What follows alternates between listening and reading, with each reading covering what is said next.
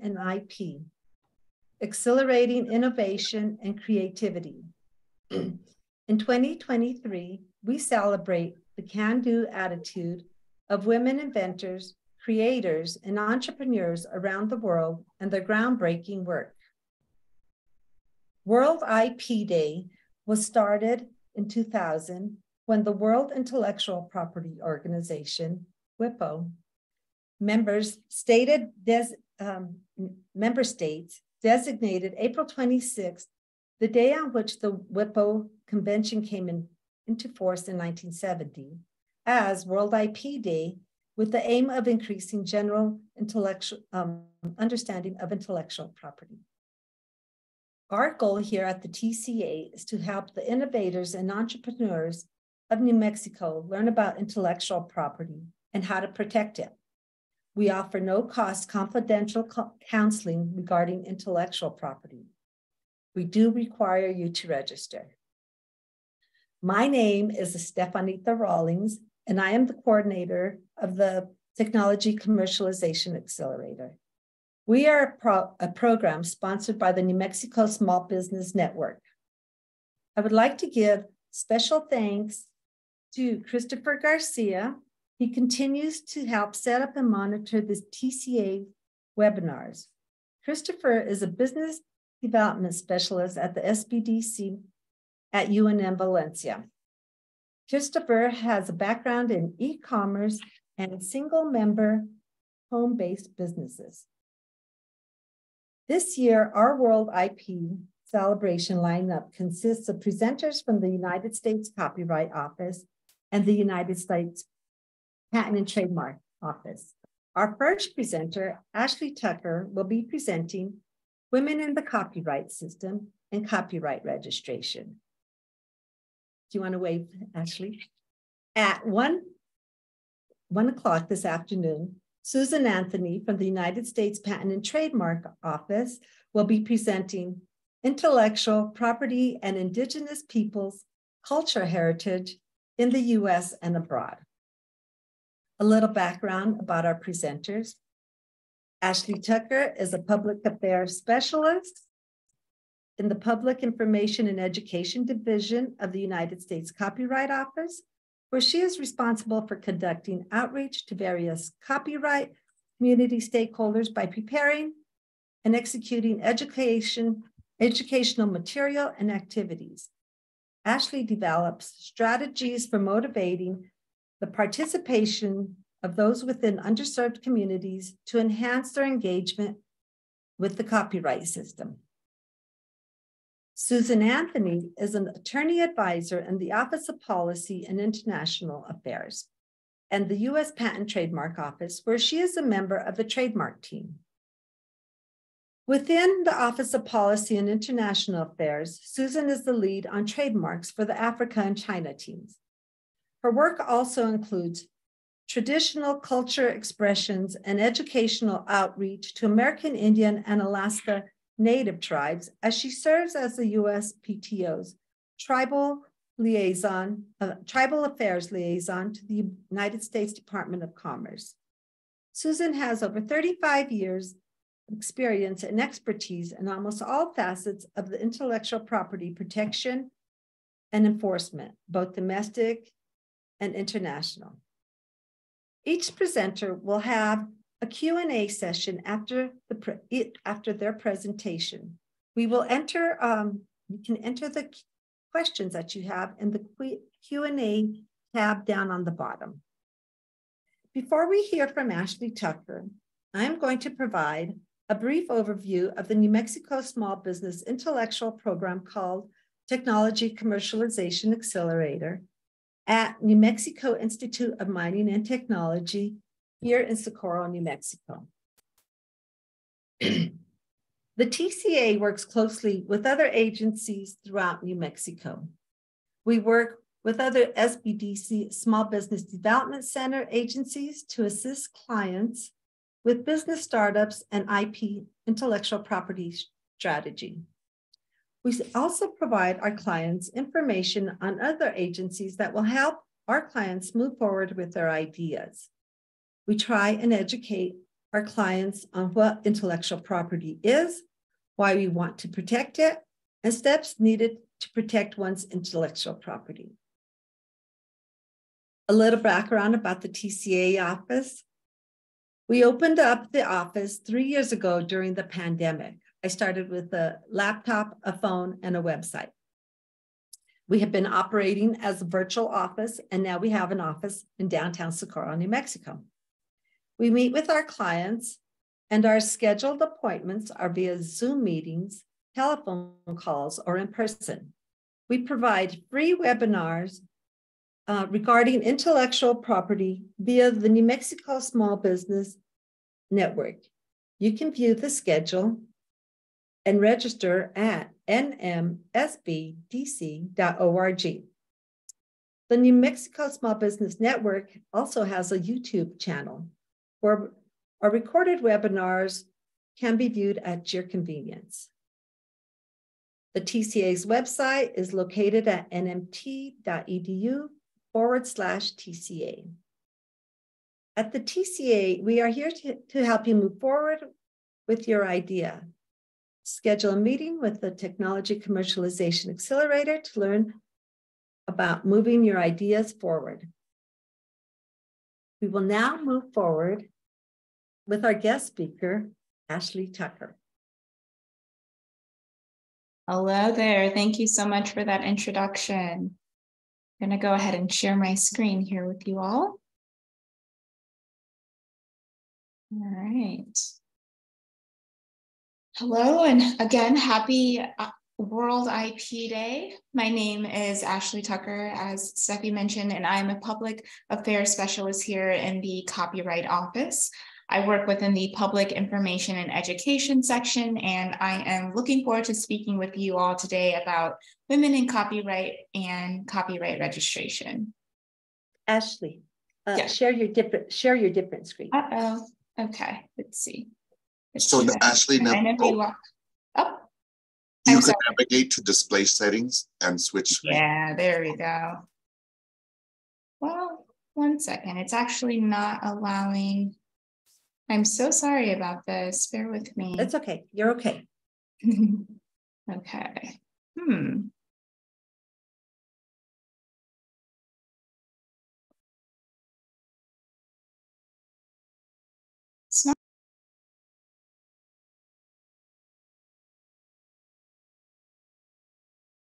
And go.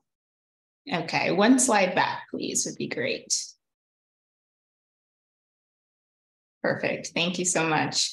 Um, before I get started on today's topics, I just wanted to take a minute to recognize World IP Day.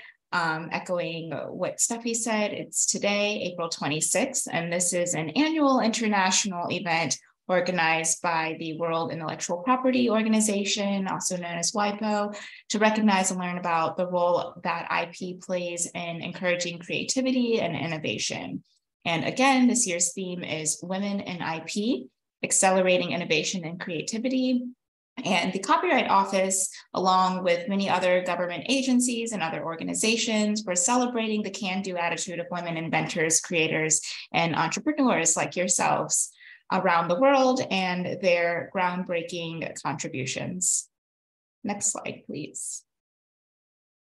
So to get us started, what is the Copyright Office? So the U.S. Copyright Office was founded in, or excuse me, 1870, and it lives within the Library of Congress, which is the world's largest library. It's located here in Washington, D.C. And simply put, our duty is to administer the copyright law. And what that looks like is advising Congress and the courts participating in international delegations, serving the public by answering questions and providing them with a wide range of resources, as well as operating the nation's registration and recordation systems. Next slide. Earlier this year, the Copyright Office published its 2022 to 2026 strategic plan, which features the office's four strategic pillars, and that includes copyright for all, continuous development, impartial expertise, and an enhanced use of data. Next slide, thank you. Again, today on World IP Day, the spotlight is on women in the world of intellectual property. And I can say, as a woman in IP myself, the Copyright Office is an exciting atmosphere in which to work. Women have played a vital role throughout the history of the US Copyright Office. And here we're celebrating the five women who have served and are serving as leaders of the office. Um, What's amazing is women have directed the office consecutively since November of 1993. And these five lawyers that are pictured here have contributed over 100 years of public service to the Copyright Office collectively. Um, on the left from Barbara Ringer, who was the first woman registrar of copyrights and widely recognized as a principal architect of the Copyright Act of 1976 to Shira Perlmutter, our current registrar, who leads a workforce of nearly 500 employees and directs the administration of important provisions of the US Copyright Act. So the Copyright Office has a robust history of strong women leaders with legacies that continue to thrive. Next slide. Just last June, we issued a special report on women in co the copyright system, looking at data around copyright registrations between 1978 and 2020. And the report provides us with an evolving picture of women's participation in the creative professions over time. For example, the publicly available data that we used in this report shows that the share of women authors in registrations is substantially smaller than women's participation rates in associated copyright related occupations. So what that means is that some women are not receiving the full benefits of the copyright system. And our report is a helpful contribution to ongoing domestic and international discussions on the gender gap and the use of intellectual property systems for example, the US Patent and Trademark Office has also reported on similar topics, especially related to patents, finding that there are gender gaps ranging from STEM education to invention and entrepreneurship to IP legal representation. So we here at the Copyright Office, we firmly believe that additional outreach and education can assist in closing these gaps and continue, we're continuing to do that work particularly through our strategic plan. Again, I mentioned one of those goals is quote unquote copyright for all. And the focus of this goal is to make the copyright system more accessible for everyone, especially those in underrepresented communities. So we also recently hired a chief economist who will continue to identify additional areas of study as well. I will encourage you all to um, find this report on our website at copyright.gov to read more. Next slide. So World IP Day encompasses all components of intellectual property. And when we talk about copyright, it's important to distinguish it from other types of intellectual property. So here they are listed here. Um, trademarks are a tool that prevents a company from adopting a name or a tagline or a product configuration that is confusingly similar to that used by a competitor. Trademarks help consumers identify the source of what they are buying or using. Patents, they protect in inventions and discoveries, ideas, processes, methods, concepts, machines, and devices.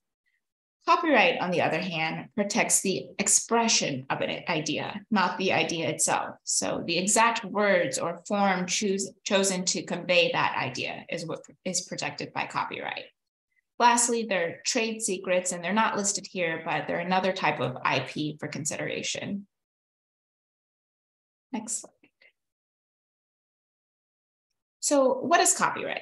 Copyright law, which is found in Title 17 of the US Code, protects original works of authorship fixed in a tangible medium of expression. This means that first we must have, quote, a work of authorship, and that work must be original and it must be fixed. Now, there are countless ways a work can be fixed. In order to meet this requirement, the work must be either written or recorded or otherwise captured in a copy or phonorecord and it must be sufficiently permanent or stable to be perceived, reproduced, or otherwise communicated for more than a transitory duration of time. So the key takeaway here is copyright protection begins the moment the work is fixed. It does not start when the work is registered with our office. Next slide. So section 102A of the copyright law provides a list of categories of works that constitute copyrightable subject matter. That list includes the types of works that can be protected by copyright. So that's literary works, musical works, um, that's including any accompanying words um, or lyrics, dramatic works, pantomimes, pictorial, graphic, and sculptural works, motion pictures, and other audiovisual works, sound recordings, architectural works. As you can see in the uh, parentheticals, these ca categories are very broad and encompass many different types of works within those overarching terms. Um, some lesser known works that we do register here include computer programs, that's a type of literary work. Um, we register fabric and wallpaper designs and video games as well. Architectural works were added the last, uh, most recently, um, in the year 1990, and that includes buildings that are habitable and also includes the blueprints. Next slide. Next slide when you're ready. So while we just saw that copyright law protects a wide variety of works that span many categories, there are also works and materials that inheritively fall outside of copyright protection. So section 102B of the law gives some examples of materials that does not constitute copyrightable subject matter. Um, that would include ideas, procedures, processes, systems, methods of operation, concepts, principles, and discoveries, um, some, of, some of these, however, are protected by patents. However, I will note that even patents don't protect uh, mere suggestions of an idea. Next. So let's look at what it means for a work to be original. So in terms of originality, if you submit a copyright registration application for a work you have created, registration specialists or examiners in the office are going to look for two elements. They're going to look at independent creation and they're going to look for creativity. So, independent creation means that the work must be independently created by the author. So, what we mean by this is that the work must be original fr- from the author and not copied from another work. So, in theory, two works could be the same or very similar, and each could be subject to copyright protection. So, for example, um, you know, if I wrote the nursery rhyme, Mary had a little lamb, and someone else wrote the nursery rhyme, Mary had a little lamb, so long as we didn't copyright copy one another, they may be protected within the scope of copyright law. The next requirement for originality is sufficient creativity. So, sufficient creativity creativity requires that the work contains at least a small amount of creative expression, but that small amount has to be more than trivial. So example of works that do not meet the requirement for originality, that might be words, short phrases, um, titles, slogans, familiar symbols and designs, um, simple geometric shapes, typography or typeface, um, mere variation in coloring. Those are all things that wouldn't fit within the scope of copyright law. So registering your work, it's not necessary, but it does have a number of legal benefits, including it creates a public record of your claim to copyright.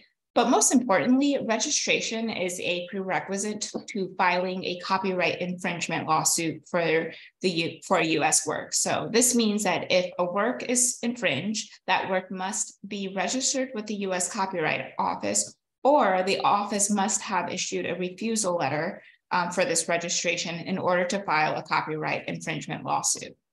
So what's needed in order for registration, it's listed here. You will need to submit a complete application, a deposit or a copy of the work, and the fee. And that fee depends on the type of work and how many works you're registering with that application.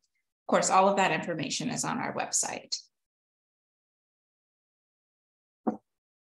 Uh, we of course offer a lot of other in-depth resources, more detailed printable resources for creators. Um, we've got circulars such as Copyright Basics. Uh, we have Circular 33, which is Works Not Protected. Um, we've got uh, circulars on website and website content, various learning engine videos on our YouTube channel, um, engage page, which is our pages that are broken out based on the type of creator, lots of re resources on the website. Another resource that the Copyright Office provides is the Copyright Claims Board or the CCB. The CCB is a tribunal with expertise um, lawyers in copyright matters, and this board is available to resolve copyright disputes of a relatively low economic value as an efficient, less expensive alternative to federal court. Um, this implementation of the CCB is another milestone in achieving that goal of copyright for all, making the copyright system more accessible to those of all walks of life.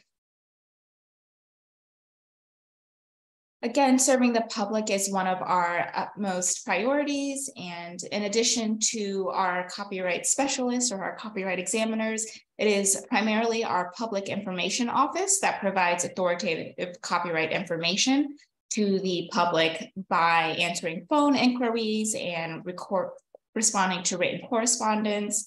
And it is our outreach and education office that establishes educational programs such as public programming, um, subject specific presentations such as this one, online resources, and various other publications as well.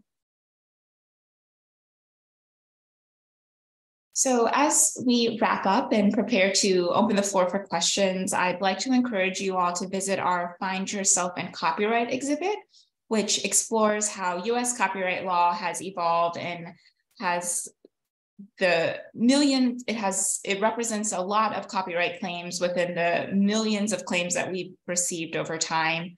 Um, and it il illustrates the very nature of original works. Um, the the exhibit is located on the fourth floor of the james madison building uh, in washington d.c in the library of congress. And while we would love to have all of you in person to walk amongst the artifacts in the exhibit i'll also note that the exhibit is accessible online as well so um, as we conclude, I will have you shift to the, the, last slide, which is just a list of our contact information. Um, please feel free to reach out to us by way of following us on Twitter, our YouTube page. We also have a Newsnet subscription program where we kick out our current news um, by way of email. But again, we've got contact information for our public information office if you'd like to speak to someone. Um, and you're also welcome to come in person. With that being said, I'm happy to open the floor up for questions. Perfect. I'll moderate for you, Ashley. And if anybody on the call right now has a question, please type it into the Q&A or raise your hand and I could allow you to speak.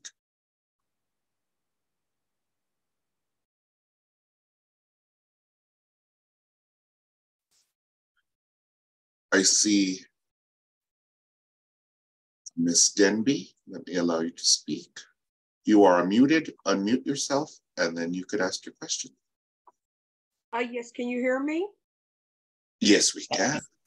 Yes, ma'am, as well. But thank you, Ashley, um, very much for your time and to give the presentation today. And so my question is, and so, um, so let's say if I like make different um products, so I make jewelry. And so what would that fall under which category? And then two, and then how about for the business name? Can that be, say, copyrighted? And then what category would that fall under? Sure. So um, when you're thinking about a business, there are components of that business that would fall within copyright protection, and some of them would be um, a matter for the US Patent and Trademark Office. So Um, the jewelry design itself may or may not be um, protected under copyright law. It depends on the design um, and the level of creativity. Um, however, you know, if you have a company website, any text or images that are on that website could be pr possibly protected. Um, any sort of company descriptions could be protected. Um, but in terms of the look and feel, the name, um, the colors, those things, those would fall under trademark.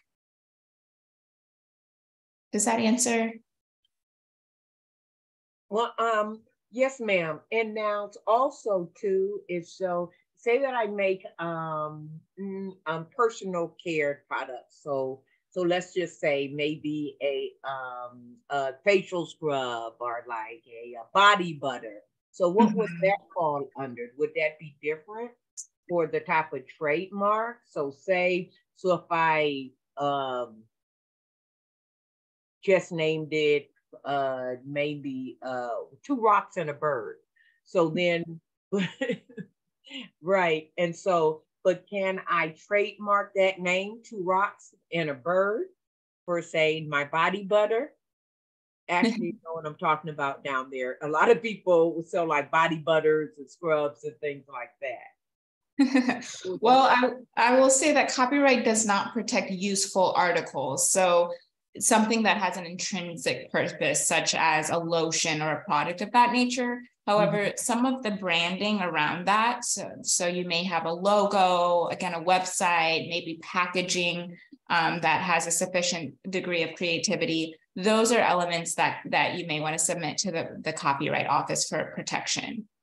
Some right. of those uh, some of those categories, and we have USPTO, I believe, with us today um, on the call now. Some of those would fall under the trademark, trademark, um, patent trademark office. Right. And now, how about for the logo?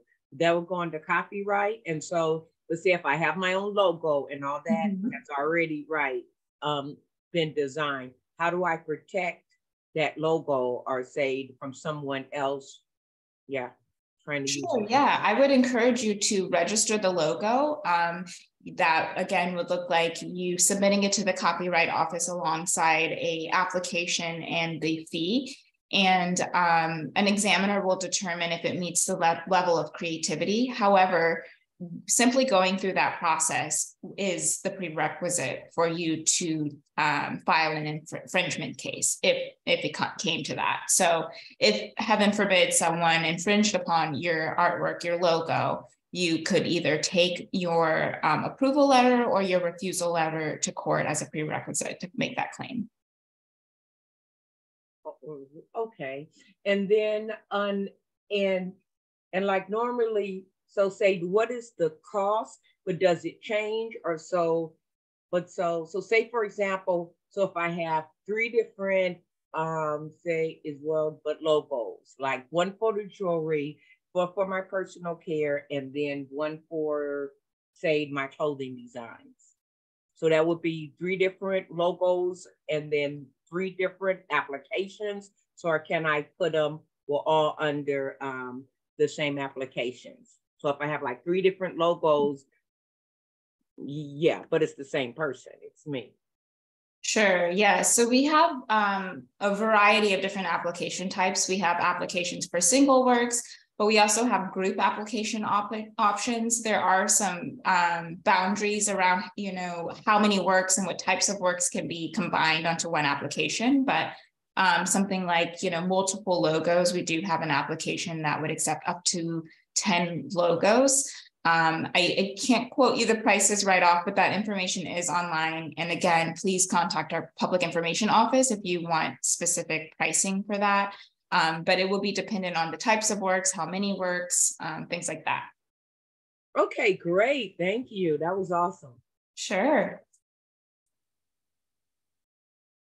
Perfect. We have uh, two questions in the Q&A and then I have some hands up, so I'll allow, uh, we'll do Steffi and then Susan. So the first question in the Q&A are, is are there workshops that provide do-it-yourself instruction to file within the different categories of protections? And if so, how do we learn about them? Sure. So, in terms of uh, workshops, we do have a lot of educational programming. I don't know if specifically on that topic. However, I will say that on our website, we have a speaker request form and that you can fill out if you would like um, someone from our office to come and give a talk similar to this one, or maybe, you know, something like that, a walkthrough on how to register um, in the system. That's certainly something that we could set up um, and discuss. So if you go to our website, copyright.gov slash speaker request, um, you can fill out that form and that will come into our office and we can set something up. Thank you. I'm gonna I'm gonna let Susan ask her question. Susan. Sure.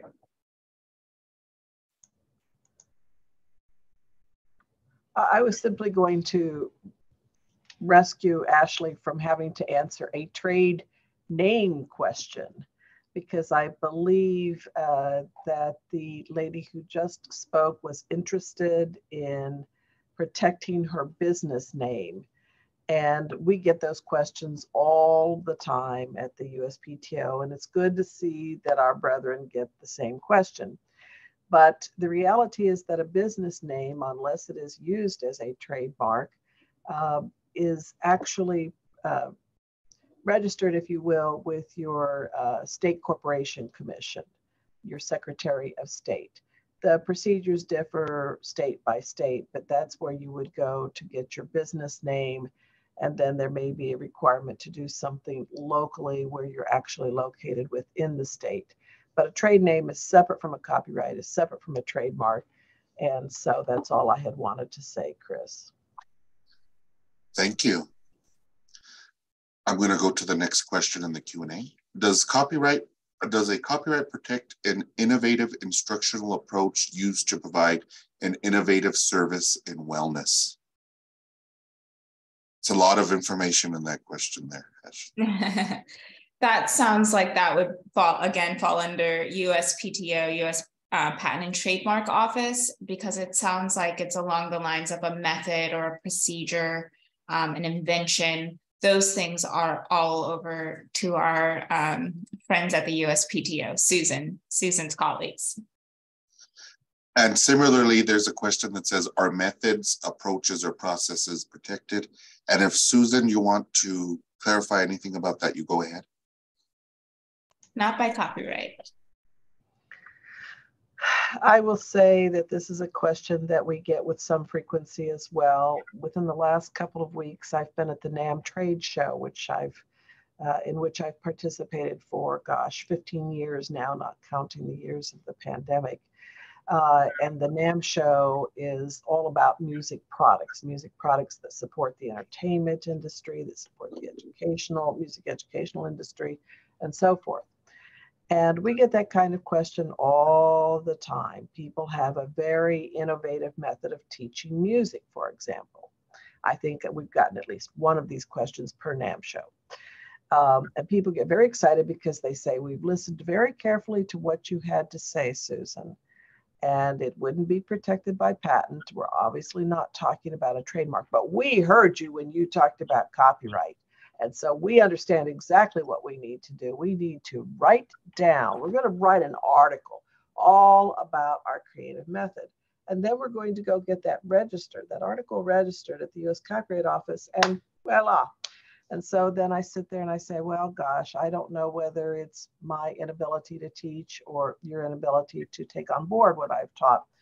But that's a question that we get quite frequently. And the answer is uh, no, your best bet would be if there is some sort of patent protection. But that, as as Ashley has noted, is also in the USPTO uh, wheelhouse. But using a copyrighted article in order to try to protect an idea, that isn't going to work. I see Steffi has her hand up. Did you have anything you wanted to add, Steffi? Um, no, I, I'm um, if Ashley could talk a little bit about the circulars that are available from the. Yeah, absolutely. So we have circulars. Um, they are essentially handouts that are broken down by um, subject matter. So again, copyright basics, um, the registration process, Um, we've got quite a number of different ones. Um, what is publication? Uh, defining the author, defining the claimant, some of those key terms. Also excited to announce that we recently released um, a, a quite a number of Spanish translated materials as well. So a lot of those circulars have been translated into Spanish, again, with the goal of making copyright accessible for all walks of life. We are still continuing this program. So we are continuously um, translating our materials into Spanish. And those are all accessible online, copyright.gov slash CIRC, C-I-R-C. And I can put that in the chat if it's accessible to everyone. That would be very helpful. Thank you, Ashley. Sure. Thank you, Ashley. Sure. I have Catherine with her hand up. Let me allow you to talk, Catherine. And you are muted. Unmute yourself and you could ask your question. Hi, um, are you able to hear me? Yes. Great. Um, Ashley, thank you so much for your uh, time and information. My question pertains to a website that um, we're developing and it provides a service. So it would have unique coding in that website. Is there a means to protect that? It's unique. I haven't seen it um, any in any form um, online. So was wondering if there's a way to protect that. Sure. So I'll preface my remarks by saying, of course, I don't know the unique case here. Um, and I also am not privy to give legal advice. But what I will say is that copyright protects the expression. So it would not protect any sort of method or um, process that the website is offering, but it would protect potentially um, any photographs or the arrangement of the, you know, the text and the, the layout of the, um, the, well, I shouldn't say layout, but the, the des- overall design of the page would be protected. But if there's some sort of, you know, service it's offering, it would not protect that service. Okay. And I think that then answers um, my follow up, which is, you know, I'm, I'm sure you're familiar, there's a lot of AI coding mechanisms like ChatGPT and stuff like that. And I was um, curious if if those had um, any protection once you perhaps modify them a little bit. Um, so anyhow, I think that answers my questions for both those. I really appreciate your time and information. Thank you. Sure, thank you. Ashley, I think Susan might have some insights on that question. Susan, did yes. you have anything you want to add? I I wasn't I can't press buttons worth a hang. um, I, I, just wasn't sure whether Ms. Getz was asking whether there was a way to provide your source code for registration to the Copyright Office, but not have to disclose all of it. Maybe I misunderstood your question. The answer is they they they they do have a system for redaction, uh, but I'm not an expert on that. I just wasn't clear Ms. Getz on your question. Well, um, I appreciate that. I think um, my lack of knowledge in this area is um, what's missing here. And uh, I do better with the concept that we're working on than um, other things. And also, just to say, this is um, intended to be for nonprofits to try to facilitate collaboration and coordination. And so um, it's just been posed to me that there should be some protection on it, but my sentiments are if it can help somebody, I want it out there. So um, I was, um, I'm the a weak link in the question, so I'll, I'll get myself better educated. Thank you. You're not a weak link by any means. I'm glad you're asking these questions. Uh, your your source code obviously would be protected by copyright. I was just answering your question from a um, from a registration standpoint. I appreciate what you're saying, though, that you may want to dedicate the work to the public domain, and I'm taking away from Ashley's words, so I'm going to step aside. But what I wanted to say here was, your you said that there are a number of parties involved, and I would urge you to have a written agreement that covers who does what, who owns what, if there's no ownership, what's to be done, et cetera, et cetera. because that's something else I get an awful lot about. People unhappy at their relationships, and now they want to know what can be done. Oh, good advice. Thank you very much. I, will I'll pursue that. Thank you. Perfect. We have a question in the Q&A and it might need some um, follow-up or some clarification. So if you want to ask this, please raise your hand. It's if the article is published by a publisher, does that work? So, um, so I so I will say that the if and I hope I'm understanding the question correctly, and correct me if I'm not. Um, the work when you submit the application, you would be naming the author of the work. So, so long as the person submitting is the author um, or representing the author, then the author is the owner and the, the creator and the owner of the work. Now, if ownership has been transferred to another party, say a publisher, um, then that would need to be reflected on the application as well. And then they would be the owner of the work. Um, but to answer your question, yes, either way, that work can be registered. It's just a matter of who's named as the owner of the work legally. Perfect. That, and let us know, attendee, if uh, it's an anonymous attendee, that a little camera shy, I'm sure. But let us know if that worked for you. And I see Susan has her hand up. Did you want to say something, Susan? yes, I'm going to intervene again because I want to say a big shout out to Ashley and her office. I will say that in all my years of work, I have never seen a better example of technical writing than Circular One. I have loved Circular One Copyright Basics all these years. I cannot tell you to how many people I have recommended that work, and I was a little worried when several years ago the Copyright Office decided to do a, a plain language rewriting of its uh, circulars and fact sheets. That made me very nervous because I had never seen anything better than Circular One. So I will tell you that Circular One is still an excellent document. And when Ashley mentioned it, I hope that everybody noted that because you really should go read that from soup to nuts. It's an extraordinary document. Great, thank you for that. And we still have, we have about five more minutes or so for questions. So if you have a question, again, raise your hand to speak or type your question into the Q&A. Well, I'll ask a question. it's a question that I get quite a bit, but I really don't know the answer because I haven't kept up to speed on uh, the when a work is unpublished.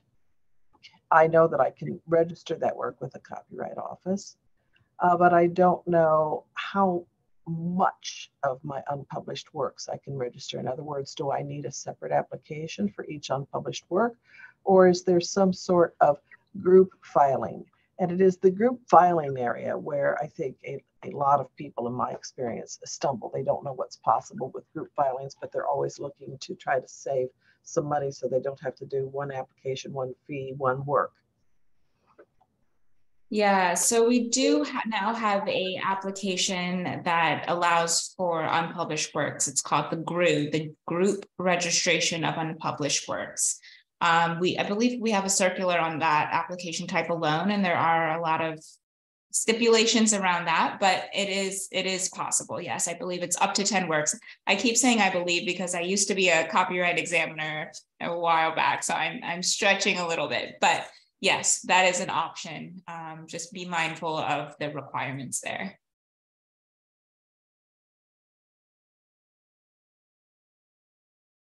I see a question just came into the Q&A from Sandra. What are the common questions that would be helpful to have answered? Um, well, I can just give a few key takeaways, I guess. Um, if you if you remember anything about copyright, remember that you're all copyright owners. The moment you fix a work, it falls within the scope of copyright protection. So, you know, if you take a picture, if you write a letter, we're all copyright owners. That's number one. Um, another thing that I haven't mentioned, but I love to emphasize is that there's no age requirement on copyright. Um, protection. So the author can be, you know, as as young or as old as as they are, and they are still considered the owner of that work. Um, so I encourage those of again all walks of life to register your work. Um, the other thing is, um, I am trying to think what what are some of the key questions we get. Short, uh, another big one, especially with USPTO on the call. We copyright does not protect short phrases, names, titles um, that doesn't fall within the, the scope of copyright law. And that's probably what we see get refused quite a bit. Um, another thing that falls, especially with business owners, when you're talking thinking about your logo, simple geometric shapes and fonts, those are not um, protected. So there does have to be a degree of creativity in order for that to receive a um, registration. And then I guess lastly, I'll just reiterate that the, the prerequisite is the process. It's it, you do not have to get your work approved in order for you to file an infringement case. If you submit your work to the Copyright Office and for some reason it gets refused and you have that refusal letter, you can still file an infringement case. Um, I know I said that was the last thing, but the last, last thing is um, if you are seeking representation, um, as I mentioned, the CCB, the Copyright Claims Board, is a great resource um, to file claims of, of smaller uh, monetary value. And if I might also ask Ashley, I know sometimes people are very nervous about sending deposit copies in with their application as they are required to do because they're worried somebody will come to the office and look at their deposit copy, maybe even copy it uh, by photocopy or writing it out by hand. Uh, how would you respond to them? Well, I can I can say that your work is safe at the Copyright Office. It's probably most safe at the Copyright Office. However, um, there are you can either send in a physical deposit or um, a photograph of the work um, or an electronic version of the work. So as long as we have identifying material that will allow us to see what the work itself looks like, um, you do not have to send in a physical copy. But um, we have a lot of safety procedures. We've got a, you know some important stuff in that office, so we're definitely doing our best to keep it safe. Can others look at it? Can I, um, on a whim, look at it? Um, I I have not seen that scenario. I don't believe so. Of course, um, examiners um, and our staff can look at it because we are a very collaborative team um, and we analyze the work quite extensively. But in terms of those outside of the Copyright Office, no. I have one more question in the chat. Um, it's Ashley, can you put the resources that you mentioned in the chat? Sure, absolutely. And I want to thank you. I'm going to stop the. At the Library of Congress. I'm going to go there next year. anyway, yes, thank you for that nice information, that great information on copyrights. Um, and uh, we will take an hour break and we will be back at one o'clock and we will have Susan Anthony doing her presentation. Uh, so now everybody could go get lunch and then we will return back shortly. Okay. Um, welcome back to the World Intellectual Property Celebration. Uh, this morning, we had Ashley Tucker from the United States Copyright and Office present um, women in the copyright system in copyright registration. This afternoon, we will hear from Susan Anthony, who's a attorney advisor at the Trademark Office, where she is a me member of the trademark team. And she, her presentation will be on intellectual property and Indigenous peoples, culture, heritage in the US and abroad.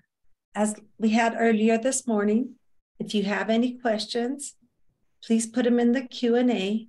After Susan's presentation, we will have a Q&A session.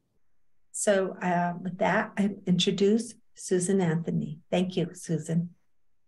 Thank you very much, Steffi. And since I'm not sure that everybody was with us this morning, I will just let you know that I have been working in intellectual property protection and enforcement in the US and abroad for nearly uh, some for some years now. We'll just leave it at that. So I would say that if you remember that commercial from Sears, I come from the softer side of Sears. I come from the softer side of intellectual property. Everything but patents, but I do know something about patents, and hopefully that will serve us well in our work today. I see we have 10 intrepid travelers, so that is very good. Uh, you will be uh, receiving some tests throughout uh, this presentation. I first wanted to say that I come by my love of New Mexico honestly.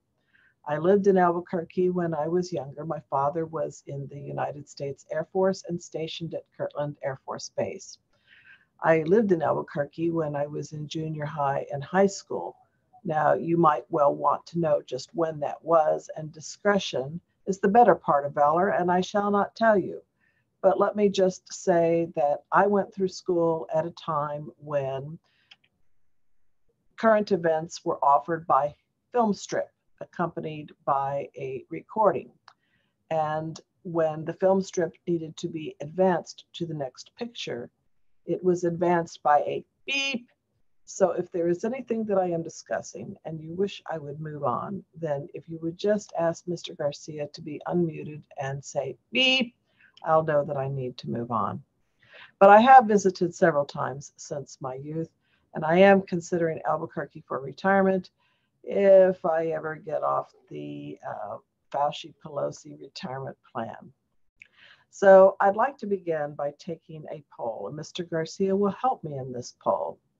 So the first question is, how many of you claim to be in business? Please answer yes or no. How many of you claim to be in business? Oh, we seem to be evenly divided. Of those of you who claim to be in business, how many of you have trademarks?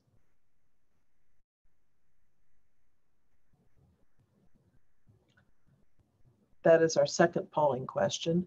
How many of you would have trademarks or do have trademarks?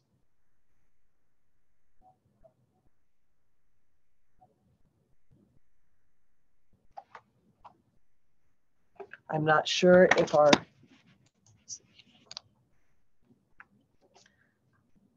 Chris, has the second poll gone up? The second question, how many of you have trademarks? It has. Five of the six said no, and one said yes. Thank you. For whatever reason, I'm not getting them on my screen, but that's that's fine. Ah, I see it there. All right. And then the next question is, how many of you have copyright?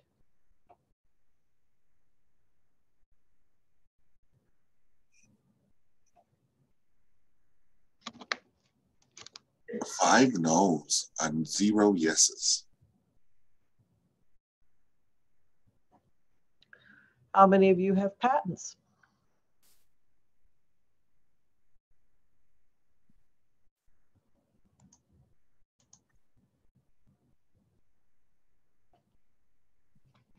No patents. And then how many of you have trade secrets?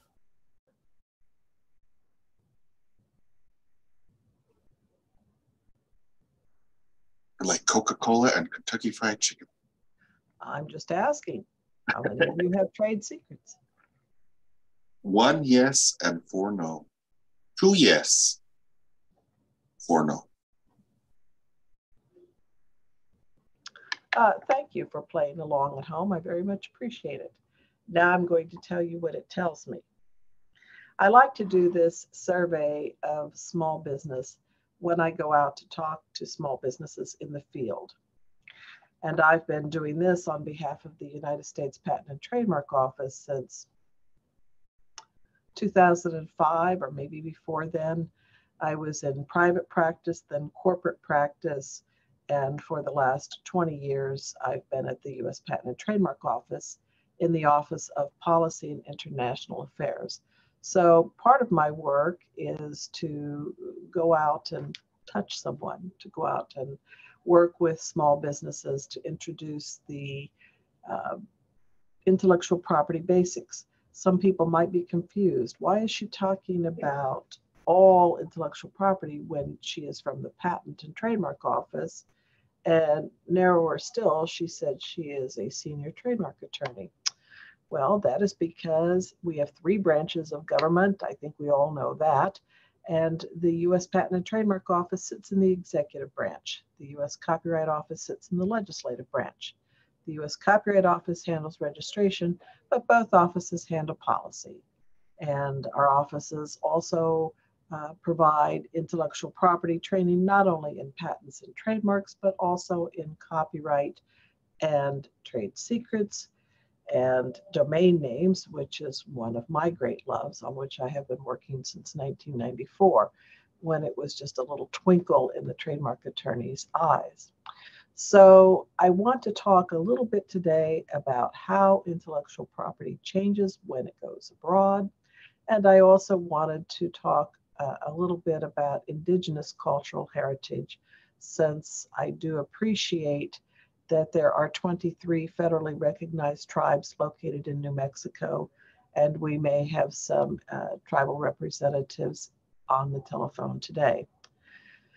So when it comes to protection and enforcement in the US and abroad, well, I gave you some very basic basics about intellectual property in the US. And I'm going to go back over your, your poll results because it worries me a little bit. I I ask that question, how many of you claim to be in business? And when I go out in the field to offer that question, people are often offended. What do you mean claim to be in business? If I weren't in business or interested in business, I wouldn't be here. But there's a catch to the question. Then I ask how many people, and I don't ever let anybody put their hands down. This is when I go to the field. Don't ever let anybody put their hands down until they have a no. And when they have a no, then they can put their hands down. But I ask them to keep their hands up. So I ask how many of those who claim to be in business have trademarks. Well, at least four uh, people in the audience claim to be in business. And so, unless you are promoting your products or your services without using some kind of name, some kind of identifier, I can't help you. I think you thought I was trying to trick you because you don't have a registration for your trademark. But actually, in the United States, trademark rights are based upon the common law, upon use of the mark in connection with goods or services. And if you are using the mark across state lines or between the state and another country, then you can file for uh, trademark registration, federal trademark registration with the US Patent and Trademark Office. So that was kind of a tricky question. That was unfair of me. Then I asked how many of you have copyrights? And again, there were four that claimed to be in business. And everybody said, no, no copyrights. We don't have any copyrights. Copyright, as we heard from our speaker this morning, protects literary and artistic expression. So you might say, and I certainly would say this about myself, I am neither literary nor artistic. However, I have quite a few materials within the operation of a business that may be or are protected by copyright, such as logos. We discussed that a little bit this morning. Websites, we discussed that a little bit this morning advertising and promotional materials, materials for our employees or materials for our customers, such as uh, slide presentations. So we actually have quite a few copyrights, and I'm sure if I were to ask this question again, how many of you have copyrights, you would all be quick to raise your hands of those who are in business. And then I asked how many patents. Well, that wasn't a trick question. You, generally know whether you have a patent or not because it is a government grant for which you must apply and be granted or or not. And then last, and Chris was trying to help you here, how many of you have trade secrets? Well, I was really excited that two said they do because you undoubtedly knew that even if you don't have the Coca Cola trade secret or its equivalent, or the Bush's baked beans trade secret or its equivalent. I've always thought the dog was going to break, but the dog never has. And those are stellar baked beans, I have to say. But in fact, a business of any size has a number of trade secrets, and it can be as simple as the list of customers, the list of suppliers, your business plans, your business strategies. All of those are examples of trade secrets that you have as a business. So I should have asked Chris uh, to take a poll on whether anybody is seeking to export. When we studied the list of people who had signed up and the profiles of the people who had signed up for this program, we didn't see that anybody was necessarily thinking about exporting at this time, but that's good because I've got I've got you in time people tend to put on their US hats for intellectual property when they think about exporting. They tend to think that if it's this way in the US, it's this way everywhere. And unfortunately, once you leave this country, the gloves are off. There are some similarities in types of intellectual property, but there are differences in protection and certainly differences in enforcement let's talk a little bit about those similarities and differences. When it comes to trademarks, in the US, I said that registration was not required in order to have trademark rights. We are a common law country. But in most other countries of the world, in most other countries of the world, you are required to have a registration of your trademark in order to have adequate trademark rights. Trademark law I won't say it is identical across the country, but it's it's scalable. There are a lot of similarities. Then copyright. Well, copyright is a horse of a somewhat different color. That is because most countries are members of one or more multinational copyright treaties. So once a work is created in one country, it will be protected as a copyright in another country. Now, this morning, our speaker emphasized that in the United States, fixation is required in order to have copyright rights. But interestingly, that's not necessarily true across all countries. For example, in Thailand, dance may be copyrightable.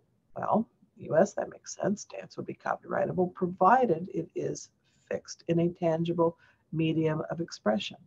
But in Thailand and in some other countries, they protect dance that is not fixed. They may protect extemporaneous speaking, lectures that are not fixed, meaning fixed in a tangible medium of expression. Once I have written it down, sculpted it, painted it, etc., that is fixation. Well, that doesn't sound too bad, but I would tell you that there are many differences among basic copyright principles from country to country. And goodness knows the enforcement of copyrights in the different countries of the world are really quite a patchwork quilt. What about patents? Hmm. Well, in the US, we have uh, patents for utility patents, invention patents. We have design patents for an ornamental design on a work of manufacture, and we have plant patents. There will be some variations in the types of patents as we go from country to country. There will also, of course, be some differences in enforcement. And then last, trade secrets. I hope nobody's thinking about where do I register or record my trade secrets because you don't do either. You keep them secret, you play them close to the vest in the United States, in order to maintain a trade secret, you need to protect it by reasonable efforts. Now, whether an, a, a, um, an effort to protect a particular asset, to protect confidential business information that gives you a competitive edge, whether it is um, a reasonably a reasonable uh, effort or not, could depend upon a court's finding. It's very difficult, I think, to determine whether uh, and how to protect any particular asset of information using the reasonable effort. And this is often done in conjunction with experts such as lawyers, cybersecurity experts, and the like.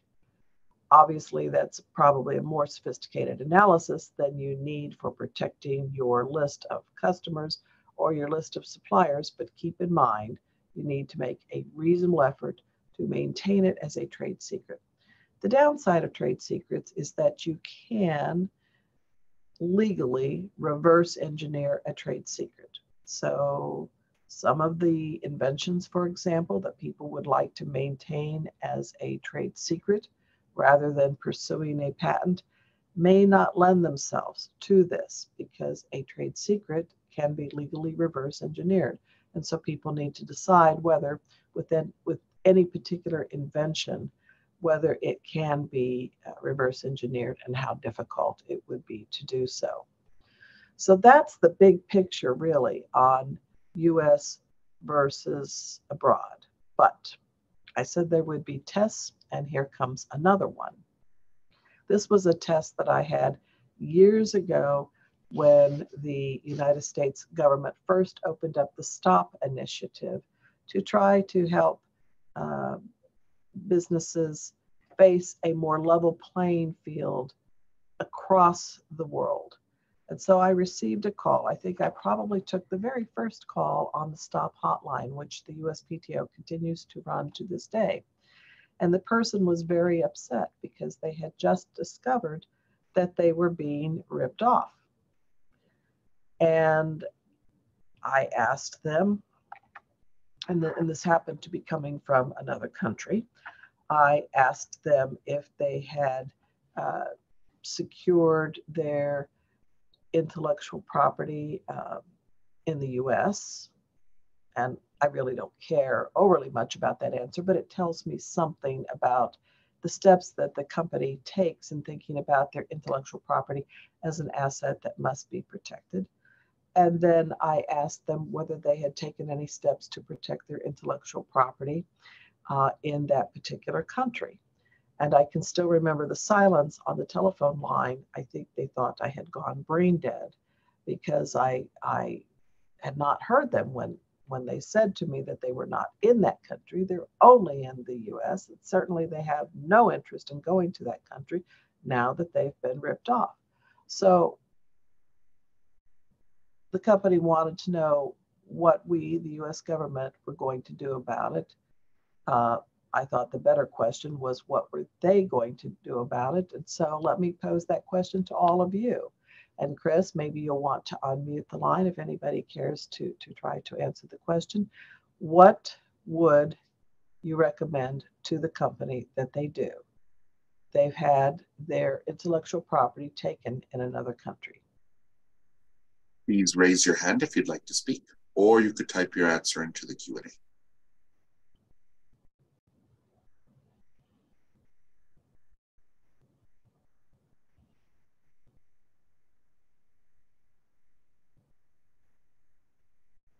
There's a veritable stampede, Chris. I don't know whose hand to select first. we do have an, an IP attorney who might want to answer that question online with us. Oh, nothing like putting him or her on the spot a little bit. And not everybody works overseas. So I won't I won't keep you in suspense any further. I will give all of you the answer. The answer is there's not much to be done unless perhaps the intellectual property of which we are speaking is a well-known mark. And by well-known mark, I mean the mark is well known to the public in that country. For most of us, that is not going to be an option. Did this company have a patent? Well, unfortunately, there is a great time sensitivity to getting a patent. And so, if the person in the other country is already inventing and shipping, that doesn't appear to be an option. Trade secret, hopefully, never left this country, or if it did, it was guarded, heavily guarded. And what about copyright? Well, that's difficult because even though copyright is protected, as I said, across the world, because most countries are members of one or more multinational treaties, it's very difficult. Enforce, the enforcement picture for copyright can be very, very complicated. And unfortunately, given the nature of copyright, as you can appreciate, it goes up in smoke. It's a blazing fire uh, shortly after it is it is out there and unprotected. So that's a very different, uh, very different discussion. Maybe we'll have time for that in the remaining Q&A. So that's a pretty bleak picture that I've painted and how did that happen?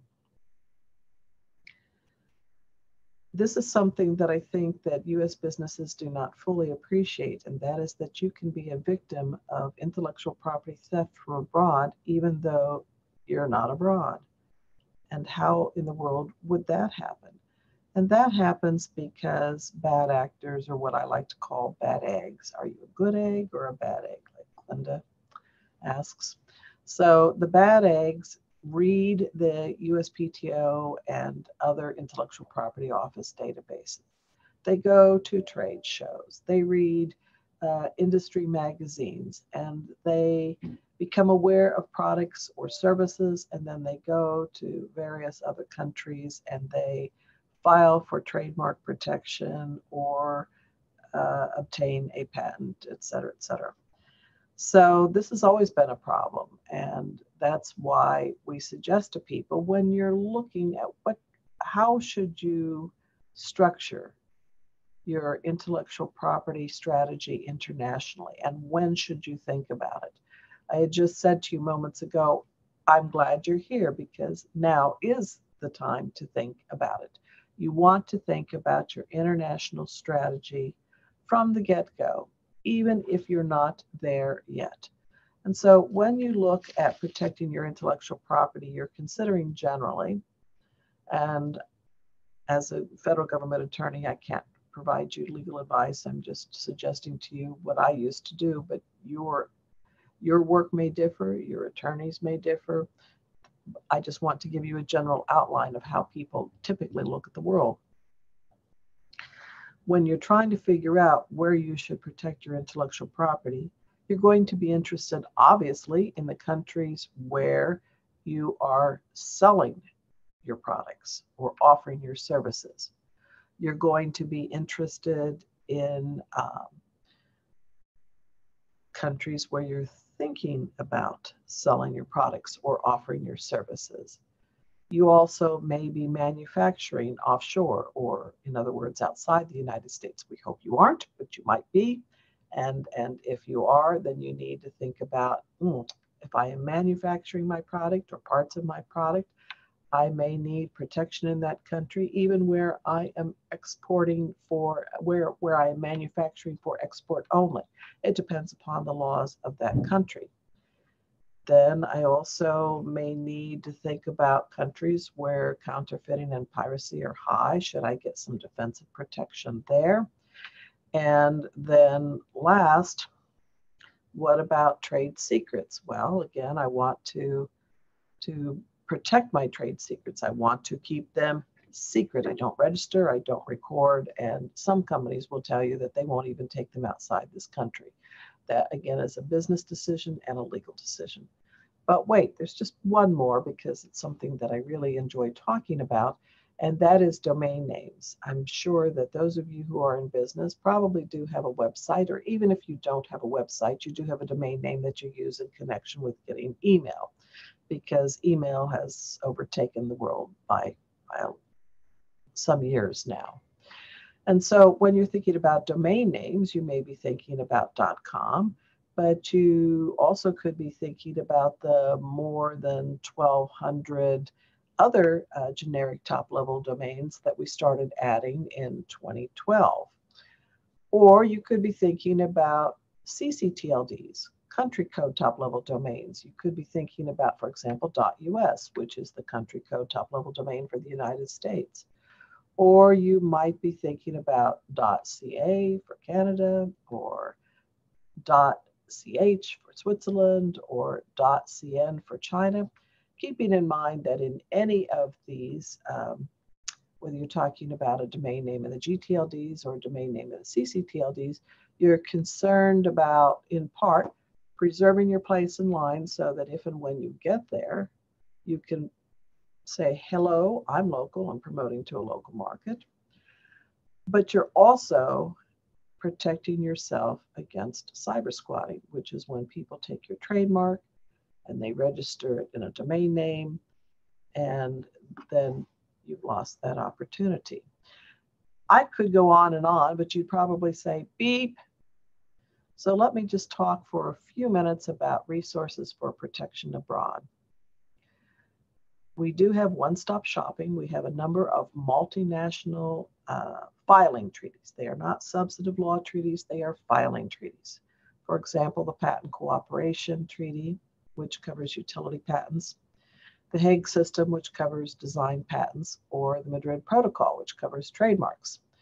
Most countries are members of the PCT, most countries are members of the Hague. An increasingly large number of countries are becoming members of the Madrid Protocol. I believe we're up to 130 now. All of these provide the option for one stop shopping. In other words, you file one application, uh, one fee, one attorney, and then you seek to expand the reach of your intellectual property rights across the different uh, countries of the world. Keep in mind, though, because people get very excited when they hear us talk about one fee. Oh, goody, does that mean if I use any of these filing treaties, then I have a much uh, lower filing fee? It doesn't work that way. If there are 10 countries to which I want to extend my intellectual property rights, then I have one plus two plus three plus four plus five, et cetera, through 10 filing fees that I need to pay. But I only have to do it with one fee. So there's there's a great appeal in that, and many companies can and do use the PCT or the Hague or the Madrid or all of them. We do have a robust set of resources for intellectual property. We have the Copyright Office. The representative spoke this morning, and it's an excellent resource we have some copyright information on the USPTO page simply because we do advise uh, small business on the full range of intellectual property, but we generally do send people over to the Copyright Office and help them navigate the copyright.gov website, which has, uh, gosh, I, I really like it. And I have appreciated all of the considerable work that they have done to provide meaningful resources in copyright. I'm also very pleased to say that we recently updated our patents basics page, our trademarks basics page. I do think that the trademarks basic page is a, is a tour de force. It's a work of art. You really do need to check it out. And we also recently put up what we call IP identifier, intellectual property identifier. Uh, I've been on the team to, to do this. It is a, a well, not only a refresher, it's a, or a refreshment of our IP needs assessment tool that we've had for some years, but it's just a, a complete, let's, let's completely redo it. And so the, the first couple of parts of the IP identifier are up, but we're still working on the advanced module and hopefully uh, we'll get this done within the next few days, I hope. So there are lots of resources out there, but part of what I do in my day-to-day job, excuse me, is to help people understand how to navigate the, the website because I appreciate it seems like old hat to me, but that's because I'm there almost every day. And then last, I'm working with attorneys. Since we're all US based here, I can simply uh, mention to you and uh, don't need to talk to you about the foreign domiciled uh, citizens and or foreign domiciled applicants and registrants in trademarks. That's a different rule. But by and large, for US business, you can pursue your own federal trademark registration. You can file your own patent application you can certainly file your uh, copyright application as well. Do you need an attorney? You are not required to be represented by an attorney to do any of these things. But is it a good idea? Well, I think so because it can actually be rather complicated. But as I tell people when they're thinking about patents, yes, unless you are an inventor who routinely files patents, do think about getting an attorney or using a pro bono resource if you qualify. For trademarks, I always tell people it's sort of like filing taxes. If the idea of filing your own taxes makes you want to throw up in your shoes, I caution you. Please take a look first at our Trademark Information Network videos, TMIN videos that are on our website. And after you go through them, if you say, I've got it and I don't feel like throwing up in my shoes, then you'll probably just be feel fine in pursuing your own applications. But we don't give refunds if you made a boo-boo. And for copyright, well, there too, I always tell people it might be a good idea to consult with an attorney initially, particularly if you're going to be filing multiple applications for various types of work that all pretty much look the same. Get an attorney to work with you on the first application so that you know how to do them subsequently.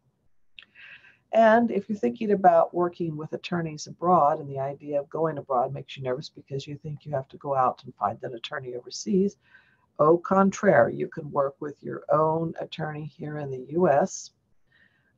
A, a good trademark attorney, patent attorney will have an, an international network of patent attorneys and agents throughout the world. The trademark attorney will have uh, a network of trademark attorneys and agents throughout the world. Copyright attorneys often your trademark attorney can handle basic copyright issues and maybe even some advanced copyright issues. But if you're a copyright creative, you may want to find somebody who specializes just in copyright. So I did say that I wanted to talk a little bit about cultural heritage. As I mentioned at the outset, there are 23 federally recognized tribes located in New Mexico. And yes, tribal members do make use of the intellectual property system that I've just outlined, whether it's patents or trademarks or copyrights or trade secrets or uh, domain names. And at the USPTO, we also have some other tools that are useful, such as the Native American Tribal Insignia Database, where we do urge uh, federally recognized and state recognized tribes to record their tribal insignia at the USPTO at no cost. This enables our uh, trademark examining attorneys to compare applications for marks, whether they are um, to, to compare the applications for trademarks to the, the insignia in the tribal insignia database to see whether any of the tribal insignia perhaps pose a likelihood of confusion to the registration of the application that the attorney is reviewing. Also, uh, the Indian Arts and Crafts Board at the Interior uh, monitors the Indian Arts and Crafts Act, which provides protection for um, Native American and uh, Alaska Native um, artists and artisans. In speaking with a friend recently, she talked about the intellectual property system. And she's a Native Hawaiian. And she said, Susan, I want you to understand that we're really talking about two systems. We are talking about the intellectual property system, and we're also talking about an indigenous system. And they are two very different systems. So when I think about New Mexico, I of course think about the uh, Zia Pueblo and the sun symbol, which is the symbol on the flag of New Mexico. Uh, these issues are very complicated, and for those of you who know about the Zia sun symbol, you know that um, it is a, a sacred, a religious symbol. And the, the Pueblo of Zia would tell you that some years ago, many years ago, the symbol was taken and then at some point it became used for the New Mexico flag. It's a very interesting story. And if you will look on the internet, you will see that the then governor of the Zia Pueblo, uh, Anthony Delgarito, um, had uh, spoken to the WIPO, the World Intellectual Property Organization, uh, in December of 2018. And I, I, do urge you to go look for that at the WIPO uh, Intergovernmental Committee, IGC on intellectual property and tradition, pardon me, genetic resources, traditional knowledge, and traditional cultural expression. And he spoke to the WIPO IGC. All these member states, there are 190 plus member states that are looking at these issues and looking at the possibility of an indigenous uh, treaty uh, for the indigenous peoples of the world. Now, it may or may not go to treaty, um, but uh, this is the work of the U.S. Uh, PTO on behalf of the U.S. government. We do represent U.S. interests at the WIPO IGC, and we are, as I say, but one of 190 some odd countries that are there that are trying to determine whether, in terms of genetic resources or traditional knowledge or folklore, what we more frequently call traditional cultural expression, if all of those things uh, together, how they should be protected and whether it should be by treaty or as the, the US suggests, and we're not the only country with the suggestion, that maybe a soft law approach uh, may be better. So the reason why I raise this issue, and it's because it's it's actually one that is very, very important. As you know, we're living in some rather different times now and things that uh, maybe were done historically are things that bring some discomfort, much discomfort to companies today. And so I can tell you that among uh, the tribes, cultural appropriation is a subject of great excuse me, I'm sorry, I've had a cold coupled with terrible, terrible allergies for the last several weeks and I haven't talked this much in a couple of weeks, so it's really catching up with me, and I apologize.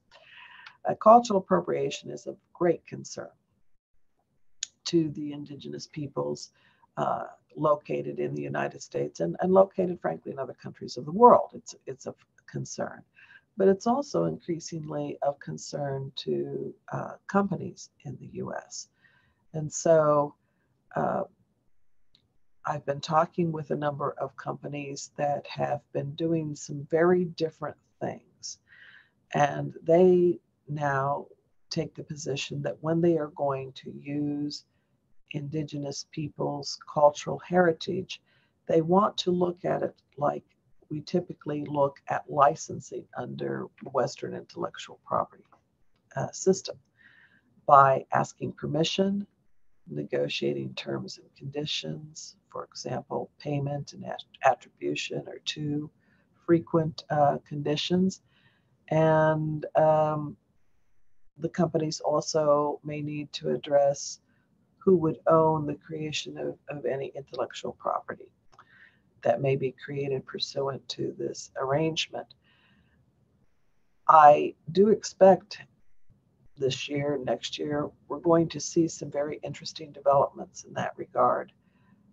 The um, there is a trade organization with which I have been working that does hope to produce a set of guidelines, hopefully by year's end, that will help guide attorneys uh, when they are working with uh, a client that says, I would like to use an indigenous people's name or words or uh, design, but I don't know how to do so.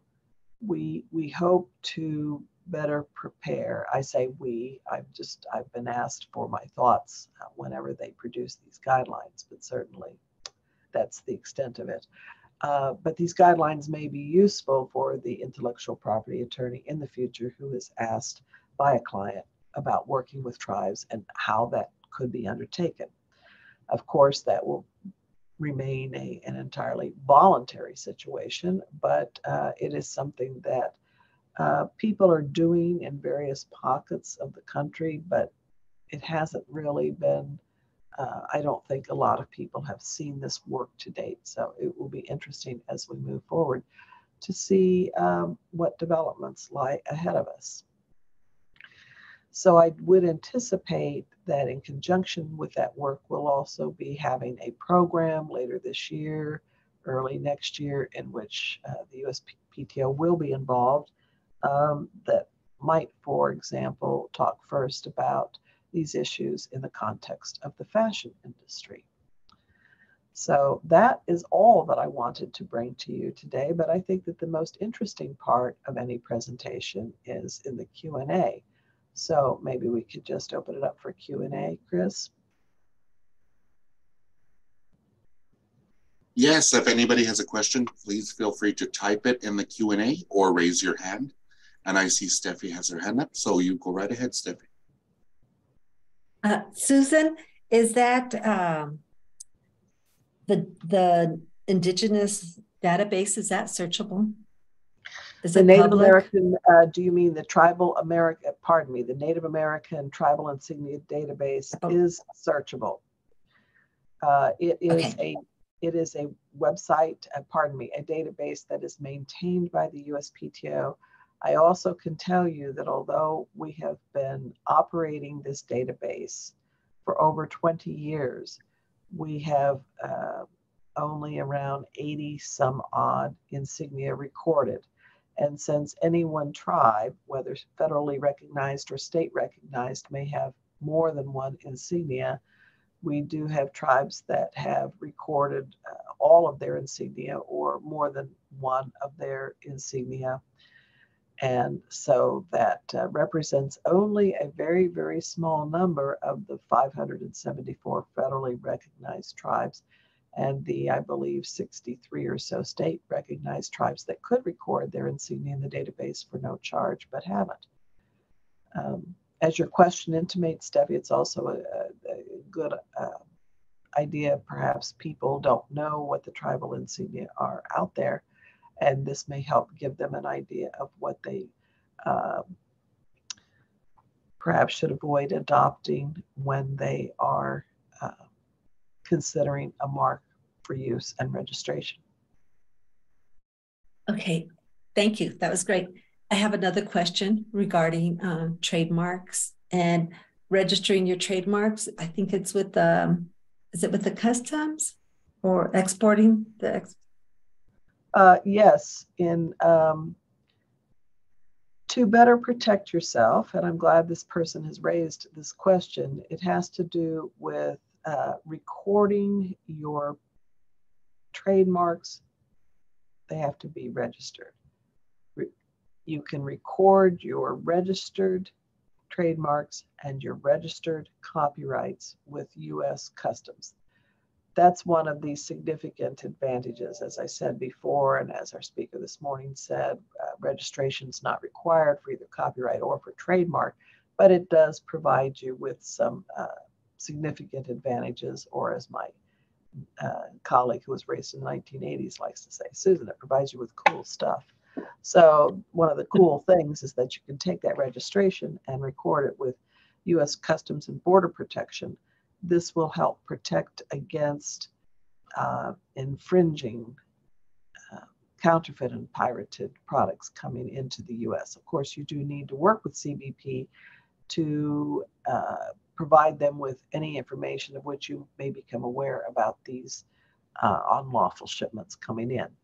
But you needn't stop at the border. You can take your uh, intellectual property in various countries of the world and record your intellectual property with the customs offices of the various countries. Now, are you going to do this in every customs office of the world?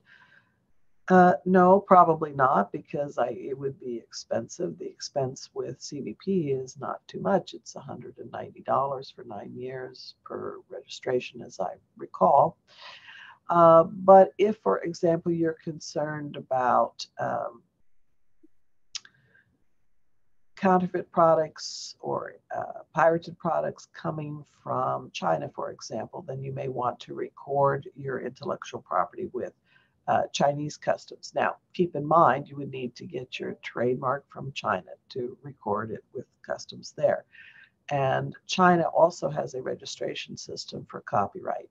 I have heard that Chinese customs will accept a US registration, but uh, since China also offers a registration, it may be a good idea to get um, a registration in China and then record that with uh, um, the Chinese customs. But I'm glad that the person raised the question because, as you can see, this gets me on a roll and I don't beep myself.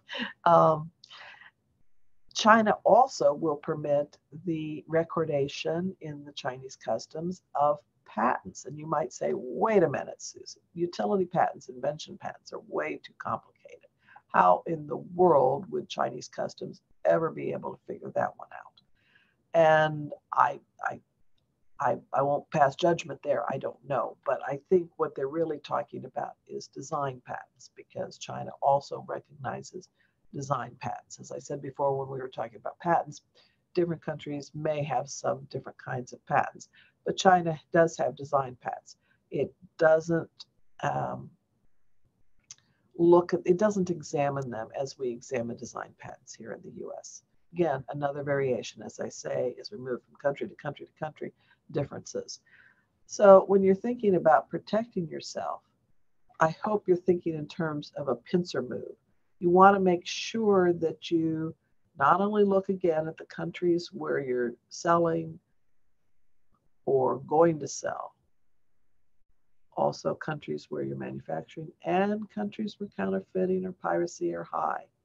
And it is in those countries where you will want to think about getting your intellectual property and also, as the uh, speaker just asked, getting your uh, intellectual property protected against um, infringing exports or infringing imports. Imports, yeah. So you really got to think very uh, comprehensively here. And the time to do it is from the outset. Why do I say that? I say that because, first of all, any of you who've ever looked at patents, you know that they're time sensitive uh, you may think, oh, well, I always knew that in the US I had a year to go uh, from the time of disclosure of my invention. Well, that's true. It's called a grace period. But some countries have no grace period at all. Europe, many of the European countries have no grace period. So that means if you disclosed in the US, you're already sunk in Europe and some other countries only have a six month period of grace, etc. In addition, as I tried to illustrate through my mention about cyber squatting and trademarks, uh, people who become aware of your trademarks through a trade show or uh, an intellectual property office database may then seek to register your mark in other countries. Those of you who have registered in the US, of which I think there was maybe one person in, in the group, um, know that you have to demonstrate that you're actually using the mark. But in almost all of the other countries of the world, you can register and you're not required to show use. You can be challenged for non use at some point up the road, but initially you're not going to have to show use in order to get a registration. So when you think about that, oh gosh, then hopefully you'll see how you could be subject to theft before you before you even really started out. So that's why I say the time to think about whether you're ever going to go global, or even if you're not going to go global, but you just want to protect yourself sitting here in the US from theft from abroad, what are the steps you need to take? At the end of the day, you may say, cost too much, don't want to do it, whatever your reasons, that's fine, but go in at least with your eyes wide open. Thank you. Thank you. Nice, Susan. We had two, um, just one comment and uh, another request in the Q&A. So, uh, one person asked for the database for the Native American insignia, and I put it in the chat. And another attendee wrote that uh, Pendleton, the company Pendleton, works uh, very closely with Native Americans to respect their intellectual property. And I chatted an article about that from their website as well. Well, I, I appreciate the uh, shout out for the database. And I do hope that there are uh, either Indigenous peoples representatives online or people who will reach out to uh, tribal representatives to say, please do record your insignia in the database. There is no charge for it, and it may help you. I, have another question, and it has to do um, with trademarks. Um, so when when somebody has a, an idea that they're looking to patent, there's uh, world um, databases that you can search, and you can see the different some of the different countries that are participating in that, and that's the part of the prior art search. Now, with trademarks, is there any public worldwide database and um, or you still just have to protect them in each country. It doesn't matter if it's prior art search. All right, let me see if I can break this down. When you're looking at pursuing a patent for an invention, you're looking at prior art, uh, which could be, for example, a, a previously existing patent, or it could be a publication, or it could be uh, sale or use of the invention. You're looking for prior art anywhere in the world. You do need to obtain patents. Patents and trademarks are territorial, and that means you need to obtain a patent and a trademark in any and every country where you want to be able to enforce your rights. That's okay. just a sad, harsh reality. But when you are looking at trademarks, you're clearing on a country by country basis. That's different from patents, where I said you're trying to figure this out worldwide. Um, you need to determine whether in any particular country of interest there is any conflict. And by conflict, I mean a when we look at a proposed mark and we compare it against a, a mark that's already in the marketplace. We are comparing, we're, we're applying a two-part test. One part of the test says, does that second mark look the same or sound the same or mean the same as my proposed mark? And the other part of it is, are the goods or services the same or related? For example, shoes and shoes. Well, those are the same goods. If I said shoes and shoelaces, those likely are related. If I said shoes and sunglasses, mm, I don't know. I have to. I'll have to look at it a little bit more closely. So, when I am trying to clear a mark in the U.S., it's a common law country, so that's going to be a little bit of a headache because I have to look some I have to look beyond the US Patent and Trademark Office. The US Patent and Trademark Office maintains its database, publicly accessible database of federally registered trademarks and also applications for federal registration. And we have all of the prosecution history, all of the documents are available online, publicly accessible 24 7. Well, that's not the whole world though, though, because I said it's a it's a common law country, and so I may also consider that there are any number of trademarks that are used in the U.S. that are not registered, and so I have to figure out where I can find information about them. And so, what people typically do who are doing the searches themselves, they'll look at the um, obviously the USPTO database of federally registered trademarks and applications for federal registration. They'll look at, uh, we do maintain a list of the state databases, but it can be a little bit difficult to search state databases because they're all over the board on, on searching. And they also may look at domain names, but since the EU put uh, the, the uh, general data protection regulation in place, that that's made searching for domain names uh, a lot more complicated.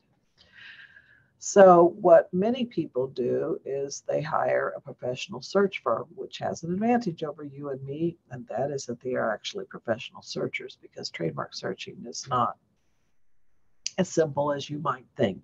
I've had people call me and say, I didn't find anything identical in the database, Susan, so that means I'm I'm good to go, right?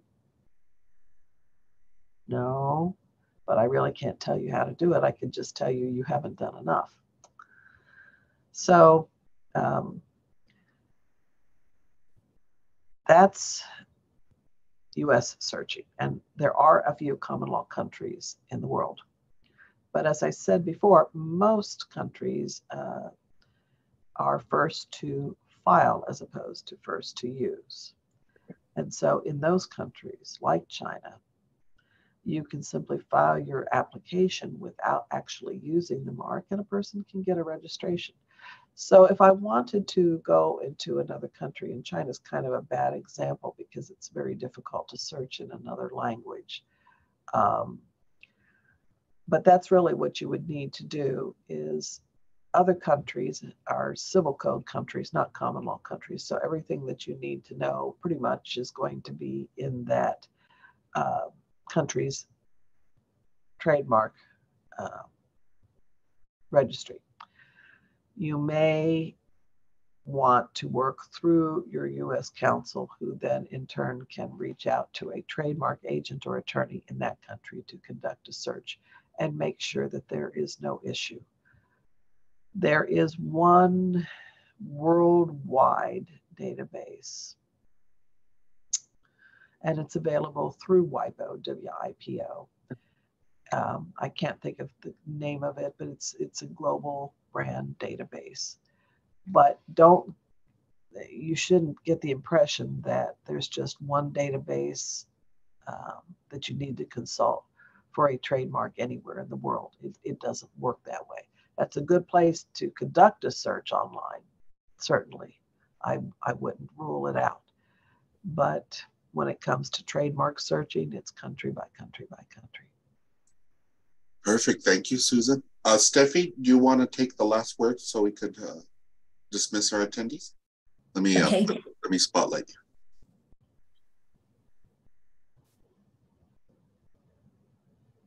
And you're ready to go. Okay.